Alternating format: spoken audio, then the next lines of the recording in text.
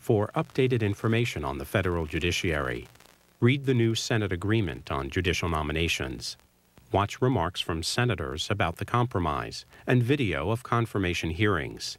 Also, biographies of federal court nominees. For the latest information on judicial nominations and Senate rules, go to cspan.org. The Ninth Circuit Court of Appeals heard oral argument in the case of Harper versus Poway Unified School District in Pasadena, California, yesterday. The case involves a Christian high school student suspended for wearing a T-shirt that read, quote, homosexuality is shameful, unquote, at an event hosted by the school's Gay Straight Alliance Club. This program is about an hour.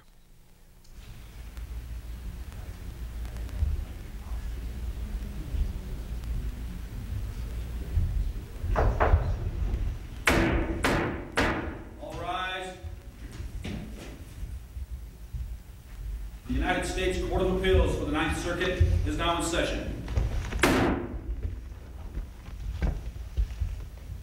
You may be seated. Good morning, ladies and gentlemen. We'll take the cases in the order in which they appear on the calendar, except that the second case, United States of America versus Prado, will be submitted. All right, we're now ready to proceed with the first case, Harper versus Poway United Unified School District. Counsel. Thank you, Your Honor. Kevin Theriot for the plaintiff's appellants. High schools must provide a level playing field for student speakers. The school district in this case has tilted that playing field in favor of one side of the debate. They have broadly prohibited all negative speech regarding the issue of homosexuality, which effectively eliminates all dissent. This is exactly the type of speech that the First Amendment was designed to protect. And under this broad prohibition on negative speech, even students observing the day of silence in this particular case would be prohibited from saying that those students in This is a factual matter. Um, the incident here happened the day after the day of silence. That's correct, Your Honor. Okay, so so um, the school had one day where there was debate and um, uh, discussion on the subject, and your client wore the T-shirt with a somewhat different message that day. Yes, the, the message on the front was the same. Uh, homosexuality is shameful, Romans 127. On the back, the first day, the day of silence, it said, I will not embrace what God has condemned. On the second day, it said, Be ashamed, our school has embraced what God has condemned. So is that, a long way, is that a long way of saying yes? Uh, it, well, it was a, a different message. It's a different, a slightly different message the second day. Although that's not the that's, message. That's the question I asked. Okay, I'm sorry. I'm sorry. Yes. Yes. Yes, okay, it was. Thank you. Yes. So, so, and on that day, he uh, nothing happened. He was not. He was not uh, disciplined. He was not called in the principal's office. Nothing happened. That's correct. Okay. So when you talk about the day of silence and you know the activities that happened there, and that would silence all of those activities. Uh, uh, that's really not quite accurate. I mean, the school could say, look, we're going to have a day of debate. Uh, people are going to be able to say things and uh, express themselves. But then we get back to being a school. We get back, you know, we've had our civics lesson, uh, you know, important to teach people about debate. But the next day after that, we, we don't want to have uh, uh, debate, right? We, we, well, we, want, we want to have less, less disruption in debate. Well, obviously, uh, timing is very important, but, Your Honor, the, the school said, uh, Principal Fisher, in his declaration, said that uh, Chase would be punished if he ever wore that T-shirt again, even if he does that on another day of silence. So um, the issue was not that he didn't do it on the proper day. The issue was the message that he was articulating with his T-shirt. And but he didn't specifically say even on the day of silence, right? No, he did not. okay, and the day of silence had just passed. Yes, it did. And would be another year before. That yes, it did. But he did testify that he could not wear that T-shirt again. Now, on your question of a, a, debate, you say this is a legitimate debate with two sides. Would your answer be the same if it were Equality Day and the students wanted to wear a T-shirt saying blacks are inferior, send them back to Africa? Would that be also the same kind of debate? Well, uh, there are uh, several facts that are, are different about that. First of all, the school has a compelling interest in eliminating racial discrimination, number one. And number two, it depends on the context. And even in the context of race discrimination, the Supreme Court has held that the school can't discriminate based upon viewpoint. Um, So your answer is, is yes, then? Is, is that right? Or, I'm, I'm- can't tell. The first half of your answer seemed to be no, and the second half seemed to be yes. Well- so why don't we start out with a yes or no answer to the question? Well, the, uh, the school district is able to limit speech that is disruptive. That's common ground. It also, but it must do so in a viewpoint neutral way. So, for instance, in the I case, still don't know whether the answer is yes or no. The, as I understand your question, let's make sure I, ref, I get it correct. Is is it different if they were if the issue was race? And and I think the answer to that is no. If the school is acting in a viewpoint discriminatory way. Yes, the, the school promotes today I have no idea what he said. I apologize. No clue at all. I apologize. Uh, let me use an Why don't you example. try s- talking regular English? Kid comes in with a T-shirt that says "Blacks are inferior. Send them back to Africa." Can or the can the school not, uh, may the school say you can't wear that T-shirt? Yes or no? That'll understand. You get more complicated than that, I'm going to have a hard time following. Yes, it can. If the Yes, if- it can. If the T-shirt causes material disruption, yes. you mean it actually has, they have to wait till there's a race riot? No, they do not. Well, you say if it causes material disruption. So you can wear it until there's material disruption? or if there are reasonable facts that lead the school to be able to There, there are forecast no other material facts. disruption. You, you can't have any other facts. These are all the facts there are. The record is devoid of facts uh, on this point. They, they kid walks through the door, and as he's walking in in the morning, uh, wearing this T-shirt, um, he runs into the principal, and the principal says, "Hey, bud."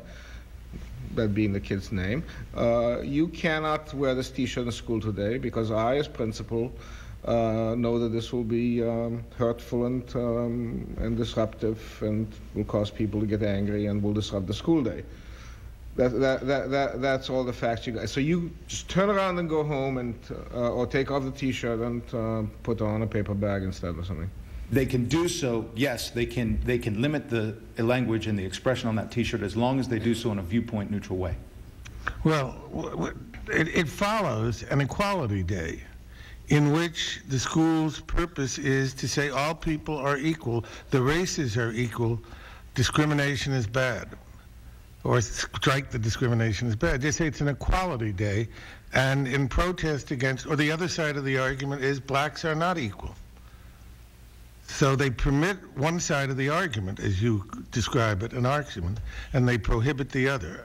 Well, if, if I may use an example, in the, the Sixth Circuit in the Castorina versus Madison School District case held that if the school prohibits a racially divisive symbol like a Confederate flag, it can't also allow a racially divisive symbol from the other side like a Malcolm X T-shirt.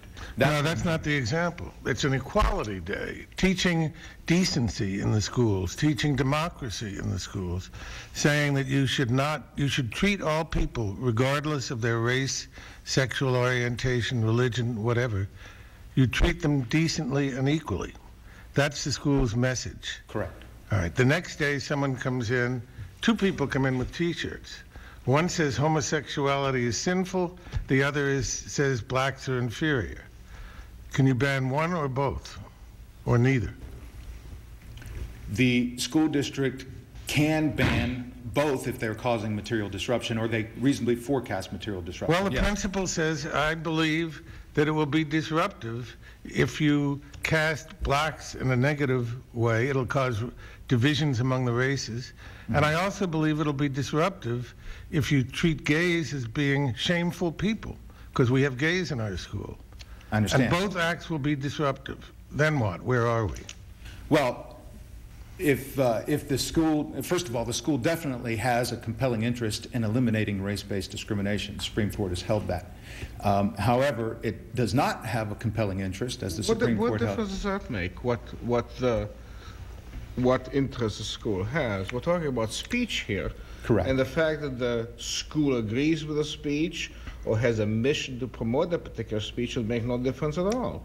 Well, you're correct in the, in the sense that student speech uh, has a, has a, there's a protection under Tinker. It doesn't matter whether the school endorses it or not.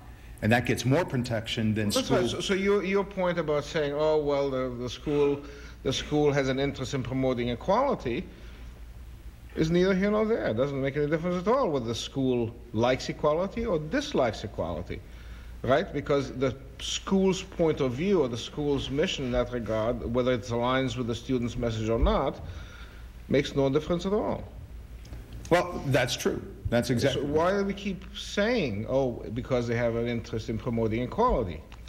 Makes no difference at all. Well, what the school does have an interest in doing is allowing all sides of the debate as long as, not, as, long as it's not material dis, materially disruptive. Yeah, including put those blacks, you know, using using a racial epithet, I might say. Wouldn't, wouldn't, they wouldn't be saying blacks. Uh, put them on the backs on the ships and send them back to Africa. Uh, that's a point of view. Sure, it is. That's right. And if that, and as the Supreme Court held, even in an R.A.V. versus St. Paul, even in situations where you have racially divisive speech and, and, and racially insensitive speech, and it's fighting words, which has less protection underneath uh, the First Amendment, the school or the government in general still can't enforce that regulation in a viewpoint discriminatory manner, and that's what they've done in this case. You know, you keep saying it's viewpoint discriminatory, but I don't remember uh, anything in the record that says that people that were uh, that had T-shirts saying heterosexuality is um, is uh, shameful or heterosexuality is like um, pigs. Uh, you know, uh, heterosexuals are like pigs. Uh, that that, that that that anybody like that was allowed to parade around campus. What the what the record does say is that there were signs, T-shirts, and buttons worn by students and teachers um, advocating tolerance and acceptance of homosexuality. But that's not the, that's not the same kind of message. Tolerance is uh, tolerance says uh, doesn't attack anyone, whereas a T-shirt that says homosexuality is shameful uh, makes a judgment about people's uh, lifestyles or about people's uh, proclivities. Uh, it is the one is a message about how we should behave towards each other. The other one is a message about uh, a judgment about somebody else's uh, person. And the equivalent of that, the equivalent of that on the other side would be to say heterosexuals are uh, breed like pigs. Now that would be the same kind of value judgment. Well, I, I, disagree, Your Honor, because if tolerance, if you can advocate tolerance and the opposite of tolerance is intolerance, the question, is not, the question is not opposite, the question is equivalency. What, what the school says it found objectionable about this T-shirt is it attacked other students, that it, that it took members of the community, of the school community, and said something about them and their lifestyles that was offensive. The equivalent, saying that they didn't treat your client equally, you'd have to say somebody else wore a T-shirt that attacked other members of the school community, let's say heterosexuals, in the same way, and they were allowed to parade around campus. It is not an opposite. It is not an equivalent uh, T-shirt to say, "Oh, we think uh, um, uh, everything, everybody is equal, and uh, we should live pe peacefully together." Well, that, that, that's not uh, an equivalent kind of kind of message. Well, if what is the? I, I guess what I'm struggling with is what is the opposite message of we should tolerate homosexuality. We should be intolerant of homosexuality. We should be intolerant. That would well, be fine. He, he, he could say, uh, he, he, if he'd had a message and said, be highly intolerant of homosexuals, we'd have a very different case. But he is, that is speaking to the question of tolerance. Whereas, uh, whereas the T-shirt he had actually said something about fellow students. Presumably, there are uh, gay students and lesbian students in the school, and he is saying what you're doing is shameful. Well, you, you, don't you don't see the difference between those two? Well, they're both negative messages, and the school district has said yeah, that they would prohibit negative messages. Negative messages about individuals are different from negative messages about ideas. But that is not, that is not what the rule says, and that's not what they testified to. They said Chase, the only option that they gave Chase to wear his T-shirt was to join the Bible club. They But said, I said do something, say it in a positive manner. But that sort of brings me back to what you did ag- apparently agree that if either of the messages was disruptive, that it could be banned. that's correct. That's correct. But there was no disruption in this case. Well, now the principal comes in and says, you know, I, I know about schools, I know about kids, we have kids of all kinds here. This message is going to cause disruption. And then he gives a little bit of evidence about what happened last year, uh, that there was some kind of minor disruption. Uh, but it, it, it's the school's judgment that these are disruptive activities. Is that really what your issue is with this case? That you say it's not disruptive? Gays are going to say, oh, well, these are just sort of these right wing lunatics. Uh, nobody's going to pay any attention to them. So it's not, there's not going to be disruption. Well, first of all, And then the other side says, yes, these kids are going to be, you know, they're young kids, they get wounded deeply. There's going to be divisions in the school. We're going to have an unhappy, unhealthy educational community. Is, is that what the real issue is here, whether it's That's, well, disruptive? that's exactly what the school district in Mm-hmm. Tinker said. And this, and the Supreme Court said that that wasn't enough. Mm-hmm. It said that fear or apprehension of disturbance does not, is not material disruption. Well, it's a little different from Tinker. Tinker, they were wearing armbands and they were making political statement about about uh, involvement in Vietnam. They weren't really attacking anybody on campus. Uh, they, they, they, they were not really uh, saying anything um, negative about individuals on campus. You, you, you do agree, you have to agree, don't you? No, I do may- not. Maybe, maybe you don't. That, that, that a message that speaks to an idea is different uh, in terms of potential disruption from a message that attacks individuals. Well, and I, and I think that's exactly what we have here is a message that speaks to an idea, homosexuality. And that was a topic that was included in the school district, was allowed to be discussed, except any negative views of that topic. And that's classic uh, viewpoint no, no, but discrimination. there are people who are homosexual. So when you speak negatively about homosexuality, you're speaking negatively about the people who are homosexuals. You're saying they're shameful. They're practices that are inherent to their, their life. They are shameful. You're, you're, that attacks the people. Saying the Vietnam War is good or bad doesn't attack other students. Well, the, the Supreme Court recognized that there were some facts in the record indicating, as a matter of fact, the school district in that case said that we have students here who have lost people in Vietnam, and you're discrediting and might upset them. You're discrediting. Um, no, you can upset somebody with attacks on ideas. Yes, I mean somebody can attack an idea, and someone else can be very upset. You can say, uh, "John Kerry is not a war hero," and that can upset some people. Sure. Uh, but that's not an attack on the people who believe he's a war hero. Those kinds of political debates are, are, are normal, legitimate, and don't involve the very essence of the person. Uh, when you say this, this person is no good, or he's shameful, or he's a sinner, uh, you are attacking the person, not just an idea. Well, I believe that Chase Harper said that if he would have said it would have been different, a little bit different in, in, in essence, if he would have said homosexuals are shameful, but that's not what he said. He said homosexuality is shameful.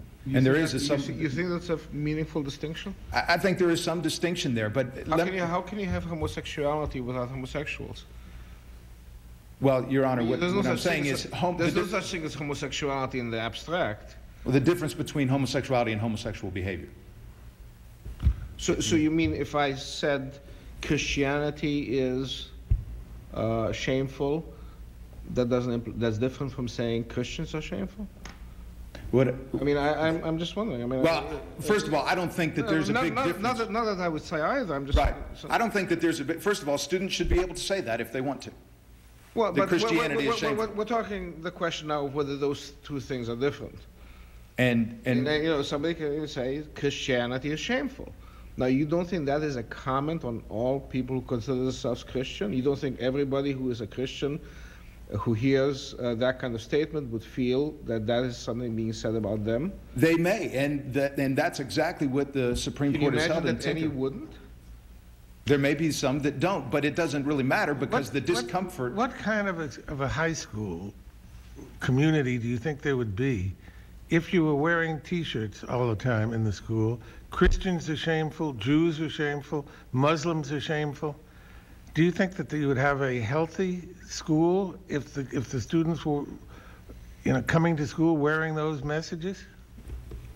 Well, Your Honor, it, it all, you have to take it all into context, and I think the answer is, if it's causing material disruption, then they should be able to limit that. But do you have to wait? Can't don't you know you that that would cause material disruption if you had groups of kids who were saying Mexicans are shameful, Jews are shameful, Christians are shameful. Women are shameful.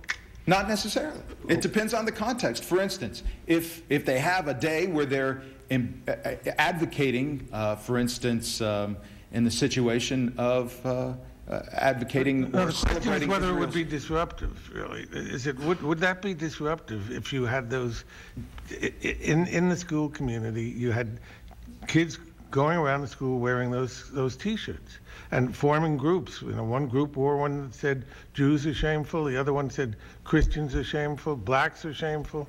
On that level, yes, it may very well be disruptive, but that's not what we have here. We have one student wearing one T-shirt, and we have a situation where the other side of the debate was allowed, but theirs was not. And that's classic viewpoint discrimination that the me- Supreme, that In the the, in the eight seconds remaining to you, let me ask you, what exactly uh, is the relief you are seeking for your client? Uh, if if you were to if you were to prevail, or you know, you say you you are claiming this record erred denying the injunction. What exactly? How would this injunction read? That that you are seeking. well, I see my time is up. No, don't worry about the time. We'll, This is not this is not moot court. I want to make sure that I, that I had the permission to answer here. Uh, uh, First of all, that there would be a preliminary injunction that would issue that would permit him to wear his T-shirt um, the next time that a day of silence occurs, number one. And number two, a preliminary injunction on the school's policies that prohi- prohibit negative and offensive speech, because those policies are overly broad and they violate First Amendment principles. They effectively eliminate one side of the debate. As a matter of fact, the Supreme Court held in West Virginia versus Barnette that elimination of dissent is the first step towards exterminating the dissenters. It's a characteristic of all totalitarian regimes. I don't think there's much danger that the uh, Christian majority is going to be eliminated uh, as a result of this. Well, Your Honor, unpopular speech, which the school district has characterized this at, and all you need to do is look at the last page of their brief to see that it was the view, his, the religious viewpoint of Chase's speech that was the problem. And that's the kind of It would be a problem whether it had the uh, the religious attachment or not. It's it's the it's not the fact that it's. I mean, the, the the role of religion in this is that it's sort of a justification for the speech. I agree that the religion is not the issue, but the issue is they disagreed with his particular viewpoint, and that's exactly the kind of speech that the Supreme Court said that this that uh, first that is protected by the First Amendment, and the school can't censor just because of the discomfort and that goes along with an unpopular viewpoint. Well, the difference is you say they can censor if it's disruptive, but not if it's discomfort. That's correct.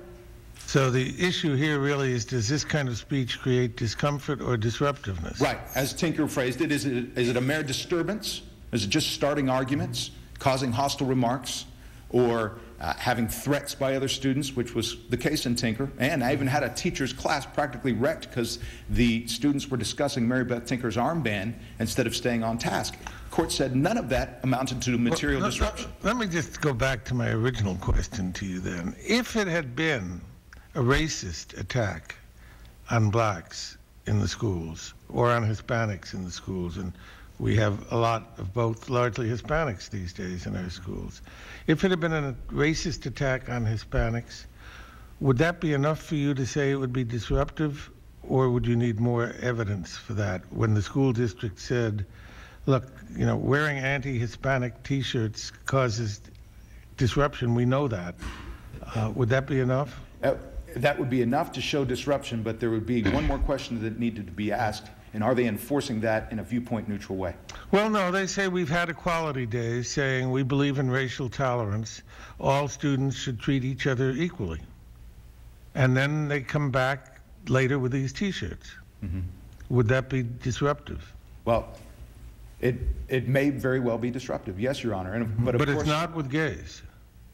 It may be disruptive, yes. They, the school district could prove that Chase's T-shirt was Oh, no, disruptive. But What my question is- to you is, with the Hispanics was not, could they prove it in the trial? My question to you was, the students come in wearing these anti-Hispanic T-shirts, Mm-hmm. and the principal says that is disruptive. You know, I'm an educator. I know we have a lot of Hispanic kids here. I know what the reaction is going to be. We're going to have another race war. Mm-hmm. Would that be all right, or does he? Do you say that, that you need more than that? Well, yes, because even if it's materially, materially disruptive, the school has to enforce that prohibition in a viewpoint neutral way. That so in order to comply with the, f- the Well, what's, Amendment. what, it's, the, the view, viewpoint neutral is the same as in this case. You've had the same kind of equality day, followed by the T-shirts. Mm-hmm. Let's take another example. Let's say it's an anti-gang day, and the next day somebody wears gang colors. You think that's okay? Well, that certainly is going to be protected speech, but where it doesn't, whether the school is justified in censoring, it has to do, first of all, whether it's disruptive, number two, and number three, Well, they know it's disrupt- disruptive past. I mean, that, but it, but you can take that on the record here. okay. You know, uh, gangs. They they. it's- In, in fact, as part of the uh, school district policy here, it's an anti-gang policy. You can't wear gang colors. So they have an anti-gang day. You think that opens it up to violations of the school policy? Well, there's certain, yes, I do believe that students maybe not be able to wear colors because that's a, that's a, a content neutral um, restriction, but to say that, voice their opinion that gangs ought to be allowed in the school, yes, that would be protected speech. Now, you have to pardon me because I've got a little bit of laryngitis, but I don't understand exactly why we're here on the, you're here on a preliminary injunction. Uh, in your pleadings, you said, uh, you asked for a preliminary injunction uh, so that uh, uh, stopping the defendants from violating his constitutional rights by selectively banning religious expression at school, fairly broad. Today, you say he wants to wear the T-shirt on uh, the day of silence. What are you asking for? Well, we're asking for two things, and if I, if I only said the day of silence, I may have misspoken. What we're asking for, one, the, an injunction stopping the school from discriminating based upon viewpoint and their broad prohibition hmm. on negative views. And number two, an injunction specifically saying that Chase should be allowed to wear this T-shirt. But this is a preliminary injunction. You're going to, obviously, the record's undeveloped. The school claims that it's disruptive and they can prove it. You claim it's not disruptive and you can prove it. We have all sorts of facts that are undeveloped. A day of silence isn't planned for another year. School's about to be out. Why do you need a preliminary injunction? Well, Your Honor, I don't think that the facts are in dispute. The real question is what the facts mean. And, and we have a day of silence coming up in, uh, in April in order to get a uh, result and get through the, A- April 2006? yes, Your Honor. You missed one April already, I think. That's right. Yes. That's right. We've already missed one. So uh, we're, it's important to get this case resolved as soon as possible. Otherwise, Chase, who is going to be a senior next year, will never again have the opportunity to express his opposition to the day of silence. Probably if this had just gone through the court, district court, to a permanent, you would have gotten a ruling already. Uh, Well, that depends upon the, uh, the level of discovery, Your Honor. And, and of course, we were certainly trying to get a ruling before this year's day of silence, and that certainly wouldn't have happened by then. Thank you. One, one final question. If, if, there were, if there were no day of silence that was, uh, that was uh, sponsored by the school, what, happens to, what would happen to your argument? Well, if homosexuality, I guess what you're assuming is, is if the topic of homosexuality is excluded by the school, which, No, it's No, not no, there's no raised, day it's not excluded, it's just not, it's not raised by the school by, by having a tolerance day. well, I think the school would still have a problem with uh, eliminating one viewpoint on homosexuality if they allow others. If they, it, it doesn't need, they don't need a day of, uh, a day of silence in order for students who are advocating equality for homosexuals uh, to be able to express their view, and they shouldn't. They should be able to express their view as much as they want to at any time, as long as it's not disruptive. And by the same token, Chase ought to eh, be able to express his view. And that's the very point of our argument and why we think a motion for preliminary injunction is necessary. Because the Supreme Court, I mean, I'm sorry, the district court specifically held that the school can censor Chase's speech based upon viewpoint, and that's in direct contradiction to this court's hel- uh, holding in Prince versus Jacoby, and of course the Supreme Court holding in Rosenberger. Thank you, Your Honors. Thank you very much, counsel. We'll give you a minute or two for rebuttal. also. Thank you. If it please the court, Jack Sleeth, appearing on behalf of the Poway uh, Unified School District. Um, This is a case involving important rights on both sides uh, and involving good people struggling to do the right thing under difficult circumstances.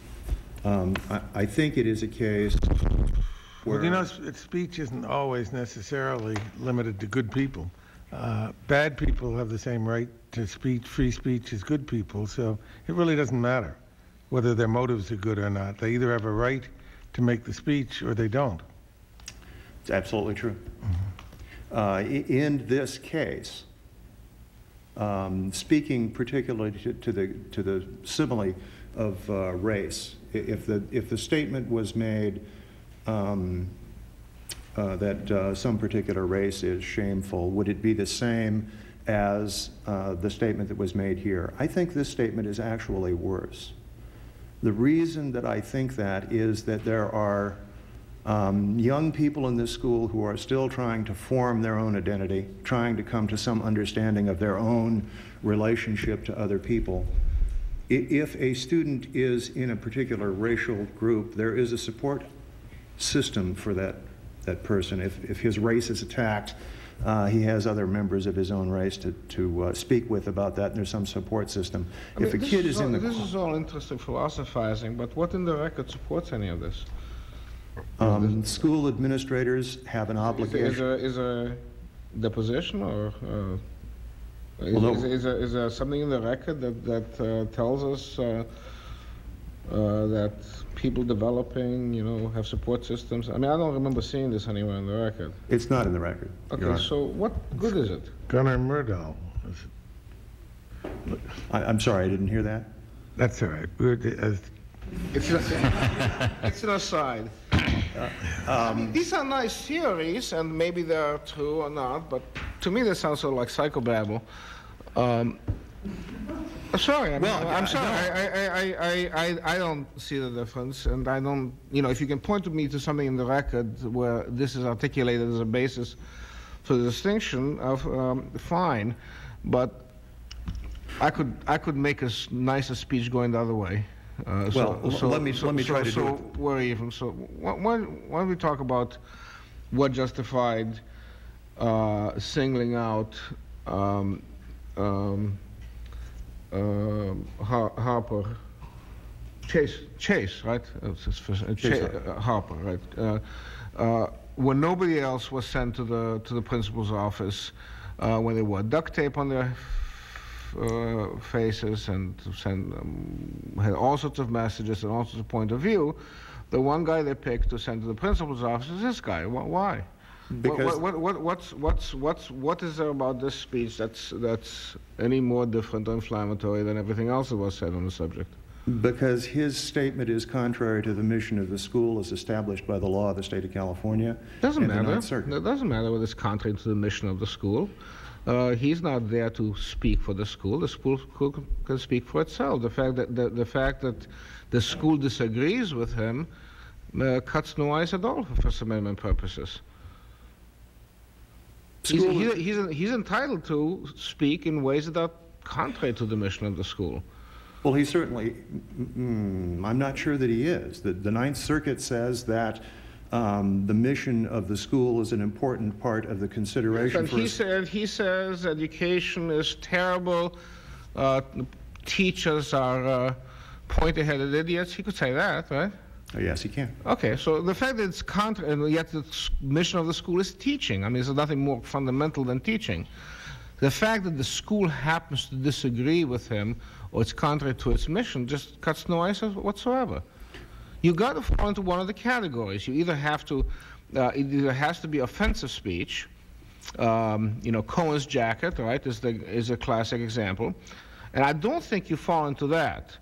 or it has to fall under Tinker. It has to be disruptive. And uh, there's no evidence whatsoever of disruption in this case, none at all. Well, there's another piece of instruction in Tinker. Tinker says if if it offends the rights of others, it's prohibitable. It doesn't just say disruptive. No, but people are offended by anything. You know, uh, I, I'm you're surprised by how many people, how many things people claim to be offended by. Uh, It, it doesn't say people are offended. It, it says in Tinker offends the rights of others. So if we Oh, find sorry, some legal right, I'm- How offends what? So what rights was being offended here? Well, the state of California and the uh, Ninth Circuit have agreed that sexual orientation is a protected classification. This attacked a legally protected classification and the right of an individual to be free from harassment.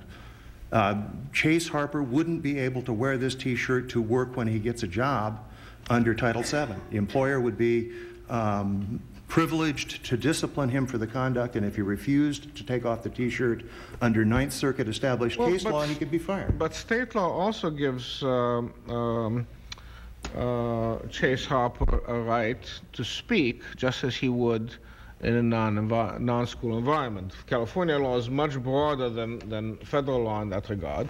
Spec says explicitly, quite clearly, that the rights to speak in school are just like the right to speak uh, outside the school. Uh, the, it's, uh, the rights of students is no more limited than the rights of any other citizen outside the school.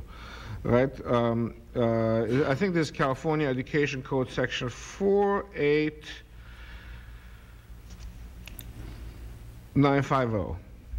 But this, Are the- you familiar with that section? I am, Your Honor. In the D Okay. subparagraph, Uh, yeah. it says, says except for harassment. The, the D subparagraph in that statute says except for harassment, and this conduct is, What do you mean by, by harassment? I mean, har- harassment is is, uh, is is anything that's offensive or somebody takes offense at harassment? no, Okay. it is um, uh, serious or substantial um, conduct that attacks a Actually, what it says is, it, what does it say harassment?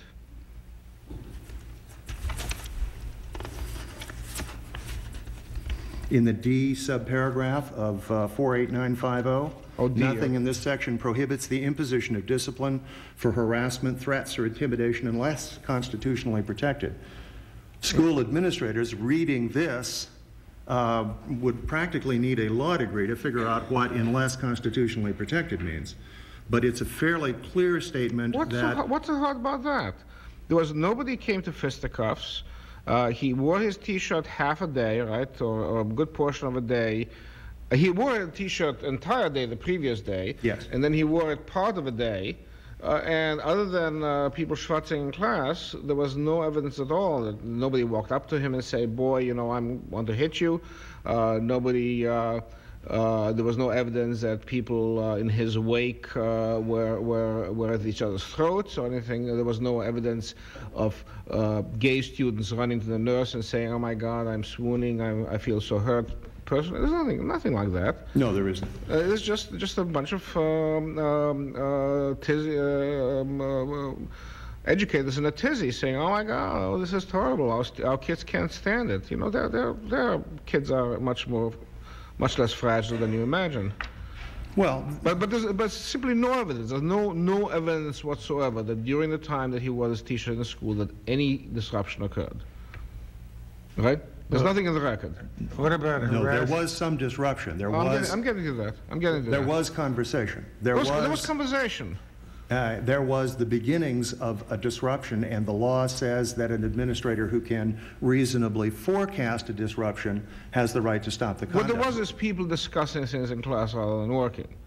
I'm sure that's an unheard of event at Poway Law uh, High School, right? Where, where, where people where people are schwatzing in class instead of paying attention. To the teacher must must be uh, extremely rare in, in that high school. I, I- I think it, Unlike- happens, I think it happens all the time. I think it happens all the time. We have one other fact, and that is the year before, there was an altercation that the principal felt it necessary to break up. We don't know the details of that altercation because the record hasn't been fully developed, but the principal knew that he had an altercation the year before at the Day of Silence. He knew that tempers were high, and there was the beginning of a disruption Well, on but this th- th- particular th- morning. that, that cuts very little ice because that was a disruption during the day of silence Uh, it could have been as a result of people making pro-gay statements or anti-gay statements. We don't know anything about it at all. And we do know that he wore the same T-shirts with substantially the same language the day before in this very high school, just 24 hours earlier, for the entire day, while people were all discussing it and having uh, arguments about it and all that. And nothing happened. Nobody went home with a nosebleed. Nobody, right. no, nobody, no, uh, there was no, no breaking of glass.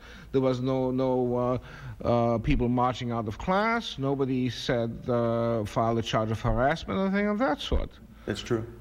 So, so wh- why, why escalate this? What, what's the point of, of, of, of, of uh, I mean, what, what, what evidence, what anchor in reality is there here for suggesting that this was any more offensive than the, than the, than the dozens and scores of things we see on the internet and on the television and on, on, on in, uh, listen to radio and, and, and you read newspaper these days. Well, I think school administrators have been taught that, that um, harassment on the basis of sexual orientation is wrong. You keep using the word harassment. You said that the uh, uh if, it, if, if an employee wore this T-shirt to the workplace, in the workplace, under California law, that that would constitute either, I don't know, a hostile work environment or harassment. Is there California law that states that an employer has the right to ban that this type of conduct as harassment? There are two fairly recent Ninth Circuit cases, both employment under Title VII, uh, cited in our brief, Bodett and Peterson. Those two cases, the employer disciplined the employee for statements about the religious prohibition against uh, uh, homosexuality.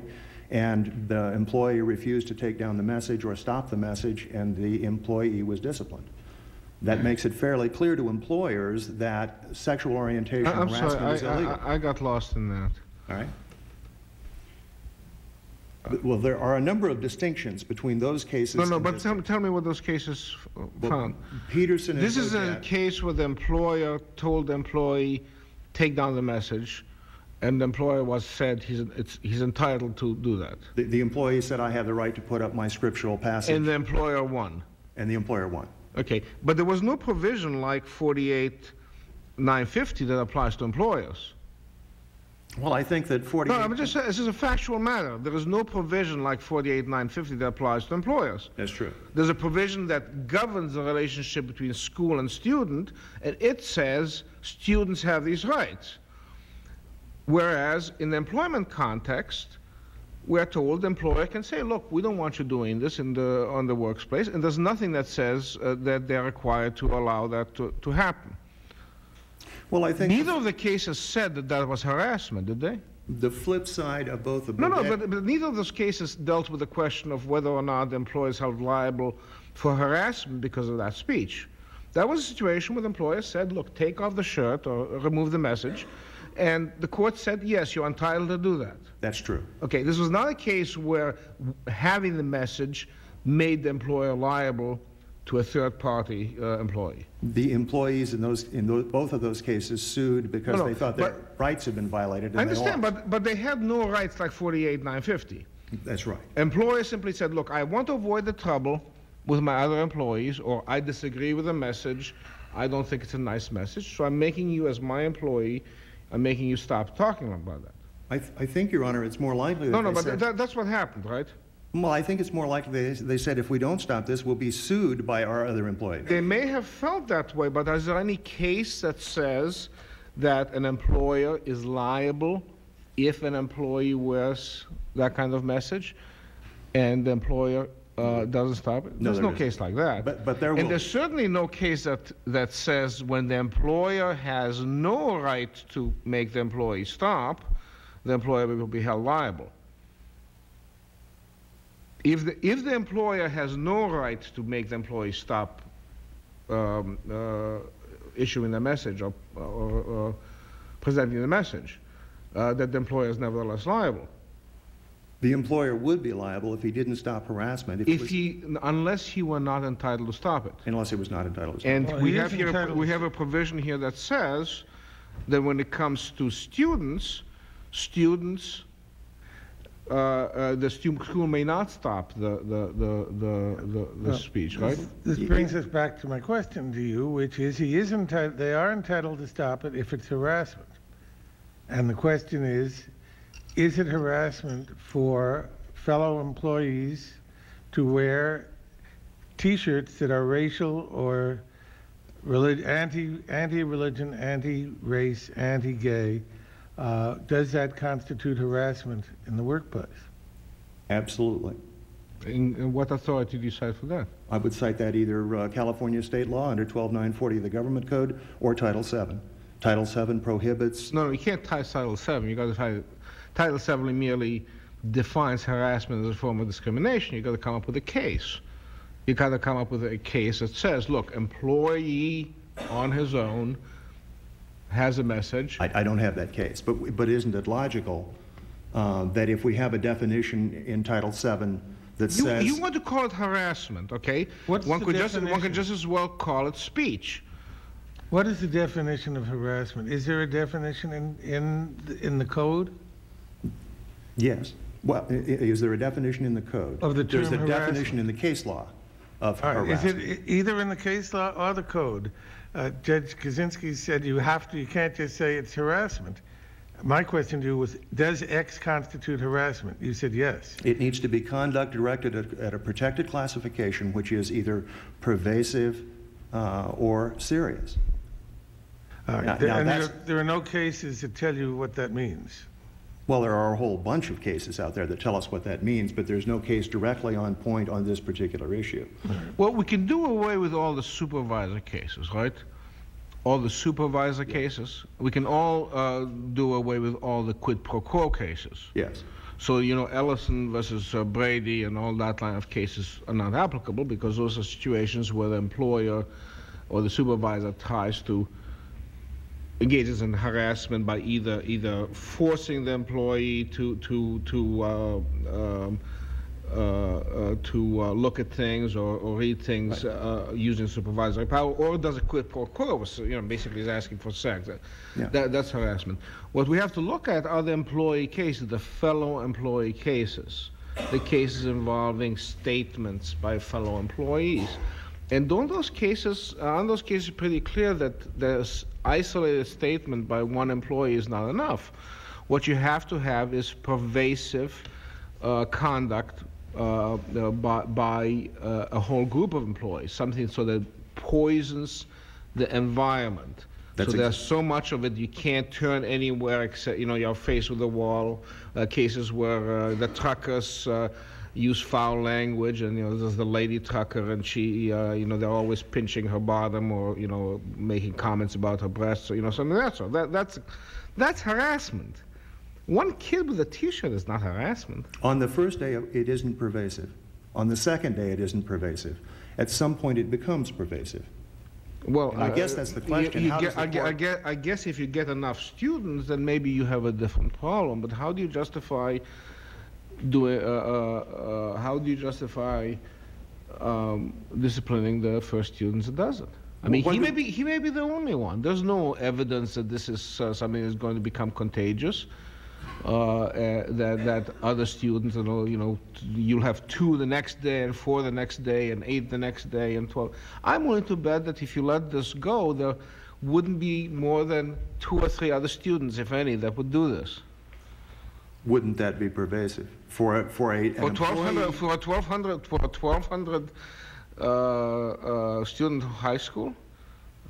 I can see an employee, a teacher, suing because the students were permitted to wear those T-shirts. I can see another student suing under Title IX because the, the district They will win. continue would to they, permit would, it. would they have a prayer of winning if it was just one or two students? And a, uh, how big is this high school? 1,200. Usually in California, the 12 to 1,500 of these high schools. Yes. Yeah. So so uh, one or two or three uh, students um, in in that many uh, wearing that kind of T-shirt, I, I think it'll be a very difficult time saying that's harassment. Then we need to craft a rule for school administrators so that they know that they permit this for a certain amount of time, uh, but at some time they stop it and they need to know what that rule is. Uh, Well, how adminis- many? You want a rule that would say it's all right if up to 10 students wear it, but if 10 or more wear it, then it can be banned. It would be the Sodom and Gomorrah measure, you know? just, just like Abraham was able to talk God down to, you know, just to 10, you know?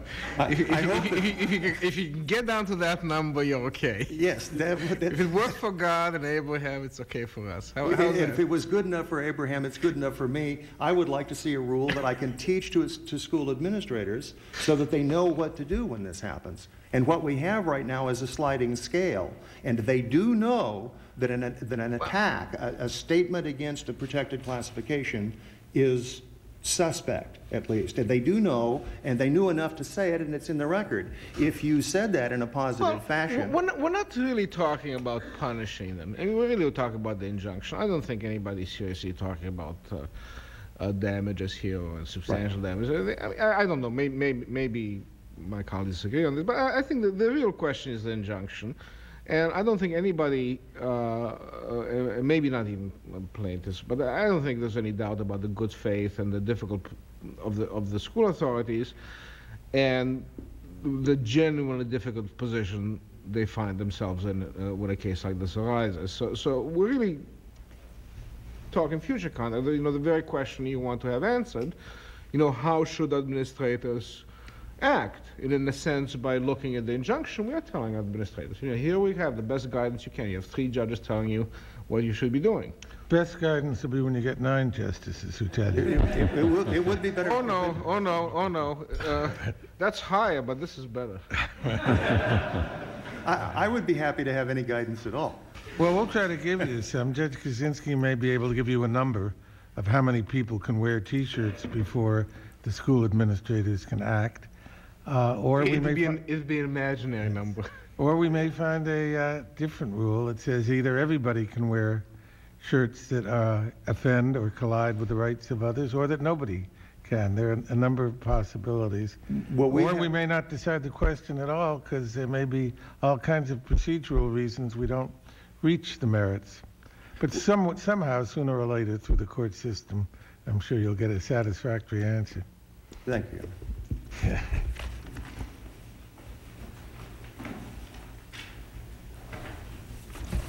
Thank you for the opportunity to respond, Your Honors. First of all, even if the harassment statutes, state harassment statutes applied, they cannot trump free speech rights under the Supremacy Clause. And then the Supreme Court held in Boy Scouts versus Dale that a state's interest in eliminating discrimination based upon sexual orientation does not justify restricting free speech. And I think that's an important point. Also, those harassment statutes, for specifically 422.6C, Well, that's freedom of association, right? The, uh, well, freedom of expressive association, Your Honor. They specifically held that. And, uh, I'm sorry, is that, no, no, go ahead. uh, and the state, uh, also 422.6C says that, and I'm talking about the California Code, s- says that um, pure speech does not constitute harassment unless it's accompanied by threats of violence, and we don't have that here. And finally, just to sum up, So you, you mean pure speech under California law? You believe the answer to my first question: send the niggers back to Africa. That's pure speech. No threat of violence. is not. School could not ban that. Well, first of all, I think it could be inferred that that's a threat of violence to physically remove somebody from. No, the no. country. They say you should. The state should do that. That sounds like physical violence to me. Well, how, how about how about niggers go back to Africa? So that you know you're supposed to do it on your own. Now, the- the- just not not not that anybody is forcing them, but this is an encouragement for them to leave. How about that? Just just so we get past this. Obviously, that's a very difficult case, Your Honor. And Be I- easy, I think.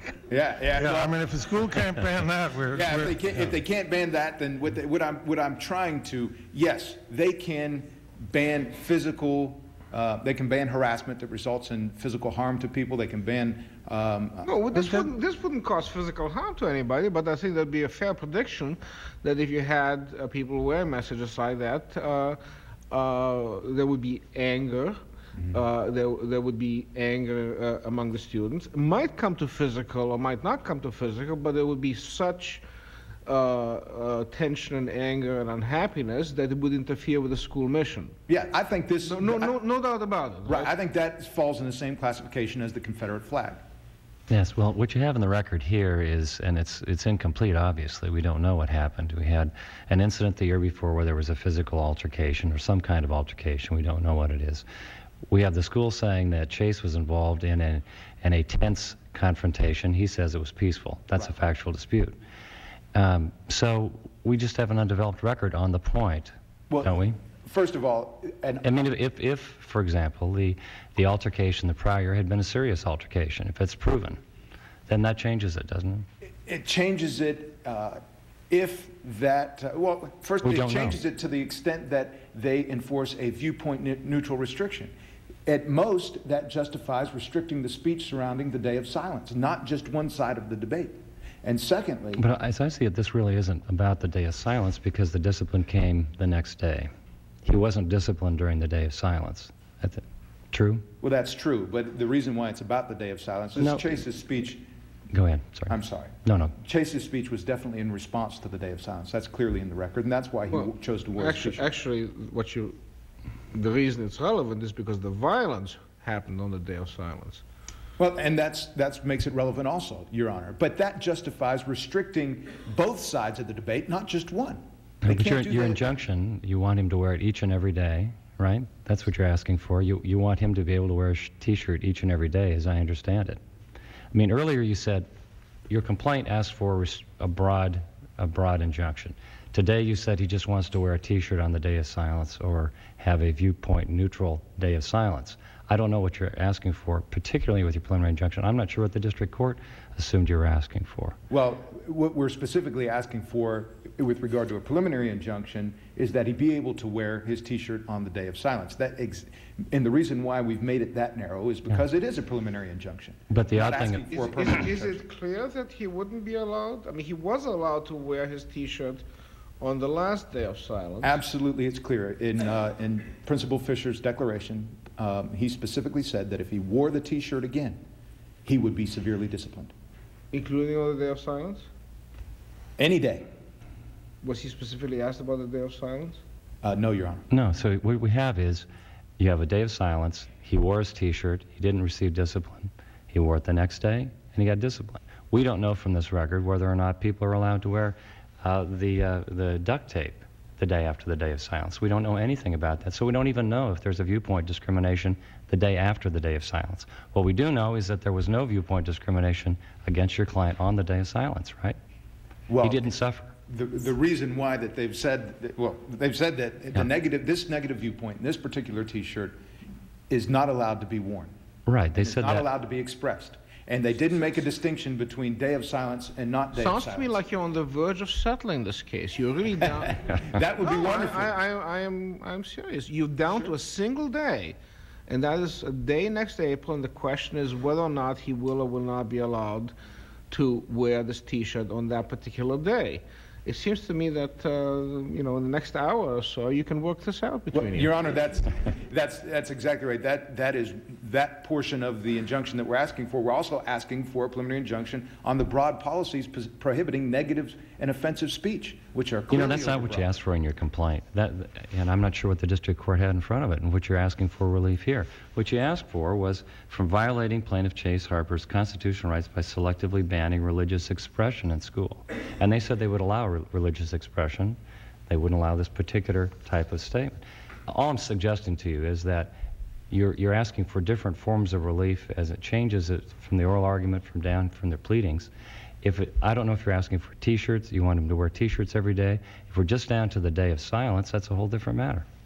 Well, Your Honor, the reason, the reason why that we are willing to narrow it at this point um, to the day of silence is in order to be able to get him to respond by the next day of silence, because that's specifically why I did. But the complaint is much broader than that. Well, sure it is, and I understand you want to yeah, talk in broad sure. philosophic terms, but but in reality, if we're down to the day of silence, your your viewpoint discrimination uh, argument is stronger. If we're talking about a policy the day after, you don't have any evidence in the record about viewpoint discrimination on non-days of silence. There's nothing that says that, at least as I've seen in the record. Well, I, I disagree. Um, First of all, the, uh, um, thank you. Uh, The declaration of Joel Ryan specifically says that throughout the year, that he has perceived a allowance by the, on the part of school officials of speech in favor of homosexuality and a suppression of speech in opposition to homosexuality. And that is found at, uh, I believe, page. Uh, his, this, this the rainbow uh, patches or something? That yeah. was part of it. Yes, he definitely mentioned that. He mentioned uh, and other and other signs and, and forms of speech. But the bottom line is, the school's obligation in this instance, as this court recognized in Hills, the school's obligation is to educate the audience, not censor the speaker. And I think in this particular instance, if they can uh, avoid censoring speaker, censoring the speaker, and um, allow important free speech um, rights to go forward, they will do a much better job of uh, furthering their purpose of educating kids. Thank you, Counsel. Thank you. Thank you both. Would you like to take a day or two to uh, try to settle this case? Well, I think you're only talking about what you're willing to get in a preliminary. You're not saying that you're satisfied in the entire underlying case if there's a resolution of what happens on the day of silence. That's I mean. correct. That's I'm correct. talking about the appeal, settling the appeal. The only thing before us is a preliminary injunction. That's, that's, that's correct, Your Honor. We're- Are, we're- we're you certainly looking- proceeding in the district court now? Uh, Yes, there is actually a motion to amend the complaint per- uh, pending before the district court, but no discovery has taken place. Yeah, you know, that's generally a mistake, I think, in waiting for the Court of Appeals to decide preliminaries and instead of proceeding with the litigation. You could have been far closer if over this past year you had been proceeding in the court, in the district court, but anyway, you didn't. Well, you'll let us know if you settle the case. Thank you, Your Honor. Thank you. We'll uh, take a short recess. The court will take a short recess before we hear the third case on the calendar. All rise. This court will stand in recess for approximately 10 minutes.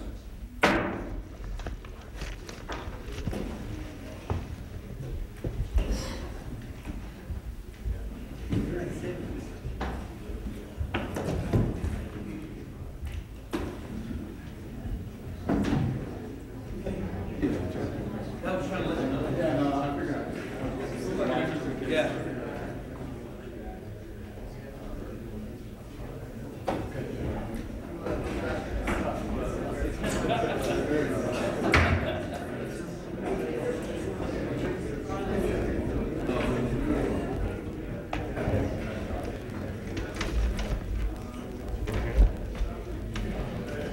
Leaving his glasses up.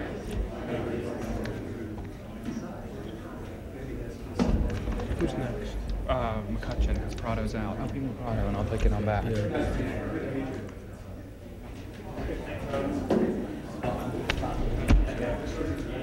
McCutcheon's next. Instead of McCutcheon. Who's after McCutcheon? McCutcheon, Wilson. Wilson. I know, I do that all the time because it's bold. I know. Uh, think this is going to be too high? It- no, no, that's fine.